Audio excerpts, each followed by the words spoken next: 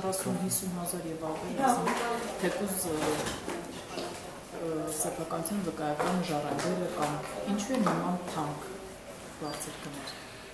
նախ թանկ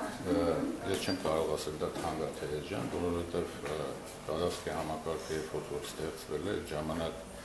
այդ բնակոյացման արդյունքում որոշում են կայացել ոնց կադաստրի համակարգը պահեն եւ այդ գներն են դրել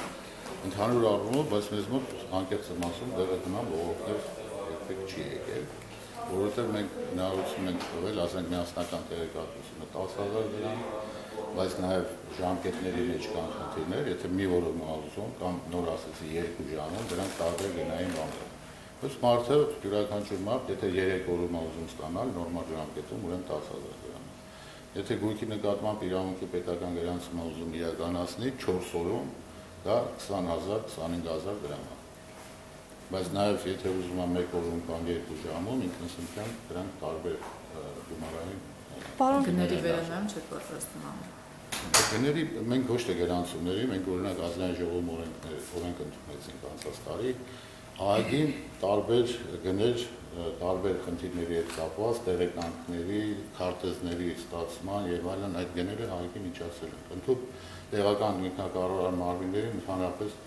առանց գումարի են դրամադրում ամբողջ ինֆորմացիան եւ իրենց վերաբերող ամբողջ ինֆորմացիան։ Պարոն Սարգսյան վերջերս լրատվամիջոցները գրեցին, որ մի շարք օլիգարխներին պատկանող առանձնատները բավական քիչ գույքահարկ են վճարում։ Կադաստրի պետական կոմիտեն այստեղ որևէ անելիք ունի, օրինակ ինչ հաշնակում մեծ առանձնատան համար վճարել ընդամենը 38000 դրամ։ Ես ես պարսլեքսով կարող եմ ասել։ Ուրեմն մեծ տներ որ հասկացողություն, այդպեսի, եթե չգիտեմ, գնայինով եք ասում, դա ուրիշ է, կամ մեզ տուն տա, որ նայում ես, ասում ես, դրանք։ հա։ Բայց այստեղ խնդիրը այլ դաշտում է գտնվում, տարբեր ձեր ասած մեծ տները նաև այսօր մարդիկ հնարություն ունեն բաժանելու, ասենք նաև ժառանգությամբ տալու իրենց որդիներին, թորնիկներին նվիրաբերելու եւ ասենք եթե մի միլիոն մի դոլարանոց տունա, աստորեն ինքը կիսվում է եւ դառնում է տարբեր այսպես սեփականատերերի բնակարանային մասեր եւ ըստ դրա, այսինքն դառնում է ասենք 250.000 դոլարանոց բնակարան։ Հիմա բոլորը այդպես են արել։ Խոսքը վերաբերում է Սամվել Ալեքսանյանին պատկանող առանձնատանը, այս բարագային։ Ես Սամվել Ալեքսանյանի տան հետ կապված չեմ կարող հիմա ասել, բայց եթե անհրաժեշտությունը լինի, կարող եմ ասել, բարձրացնել։ Այսինքն այդ երևույթը այդպես է, այդպես է բացատրում, որ քիչ են վճարում, որովհետև կիսել են, բաժանել են, հա, ինչպես դուք եք դե, ասում, բոլորը մոնումենտի տները եւս։ Դա օրինական բան է, դա այսինքն նույն կադաստրի պետական կոմիտեն իրանք չունի գործարք չանել։ Դա գործարք համարվում, մարդը իր բնակարանի մասը տալիս է կամ նվիրաբերում է իր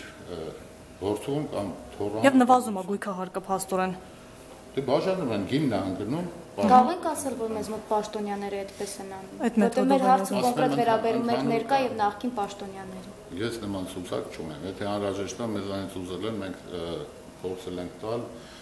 այն հասցեներով նույնիսկ բնակարաններ ումնեն ինչ արժողությամբ, ինչքան գույքարականություն։ Լավ, դա լավ մի- միջոցը հարկային պարտավորություններ չկատարելու։ Քաղաքացին էլ կարող է այդպես անել փաստորեն։ Իսկ եթե որ բաժանվում է այդ գույքը հայկը